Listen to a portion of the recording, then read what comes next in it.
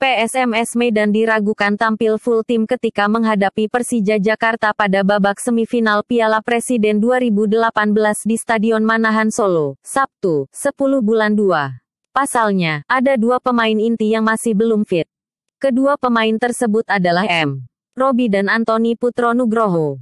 Bahkan keduanya terlihat absen dalam latihan perdana usai Ayam Kinantan menjalani babak delapan besar Piala Presiden di Stadion Kebun Bunga Medan, Selasa, 6 bulan 2, sore. Pelatih PSMS, Jajang Nurjaman mengatakan, tidak ada pemain yang terkena akumulasi kartu. Namun kondisi fisik Robi belum gitu pulih.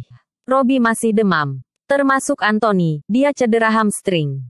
Sudah berobat sejak seminggu yang lalu. Ketika lawan Persebaya, dia, Anthony, juga dipaksakan main. Pesimis dia bisa diturunkan lawan Persija, ujar Janur. Beruntung, lanjut Janur, Robi diprediksi bisa tampil.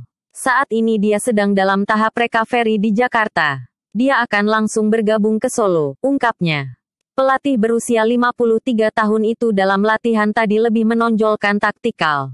Ini dilakukannya karena Rabu besok ada dua pemain lain yang harus absen. Karena besok latihan kita tanpa empat pemain inti. Lobo, Satney, Robi dan Anthony. Kalau Lobo dan Satney harus pergi keluar untuk mengurus visa kemudian balik lagi dan langsung ke Solo, tandasnya.